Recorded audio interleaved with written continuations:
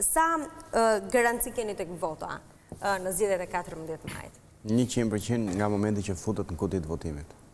Pra, problemi që kemi sot është manipulimi i votës para ditës së votimit. Pra, blerja, kërcënimi, mbledhja e kartave të identitetit. E ndjeni këtë në terren, në kontaktet e përditshme me qytetarët? Nuk kemi ç'i bëjmë atyre.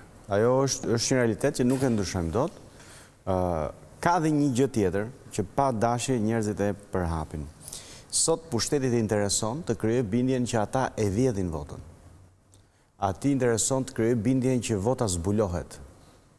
Sepse kështu kërcënon pastaj njerëzit e tjerë. Pra i thotë, shiko, unë e gjej se për kë votove ti. Dhe në momentin që ne ankohemi, ai duam s'duam i çojmë ujin tek mulliri atij. E dyta, në momentin që krijohet bindja që shiko do ja vjedhin votat opozitës, do ja vjedhin votat partive të reja, atëherë njerëzit thonë pse ta çojmë votën dëm, s'po dal fare po shkoj në plazh. Pra, është në pikën ku pushtetit i intereson të krijojë bindjen që mos u lodh kot me këtë se ky ky nuk humbet. E vërteta është që ata kanë vetëm mundësinë për ta manipulu deri në ditën e votimit.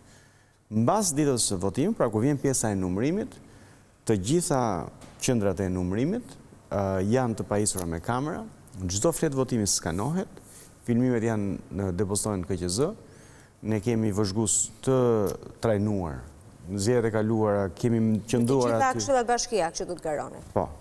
Kemi qëndruar aty deri në votën e fundit si respekt për çdo njeri që besoi dhe pavarësisht të gjithave votoi për ne, kështu që nuk kam merak për atë pjesë. Pa dyshim vjen keq që ka ende qytetarë që nuk janë të lirë të votojnë për atë që ata duan, sepse jau blejnë votën, i kërcënojnë etj etj që nuk e zgjidhim dot sot, por pa dyshim që është një çështje që duhet të zgjidhim në demokraci.